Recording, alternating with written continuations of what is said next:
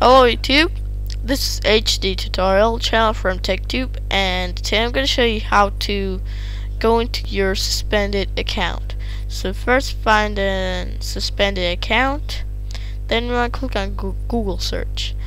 Now you want to click on catched and there you go.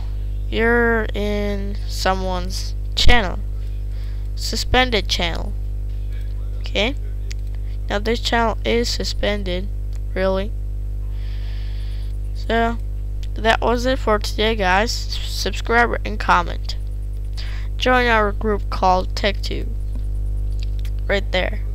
Okay? So, thanks for watching.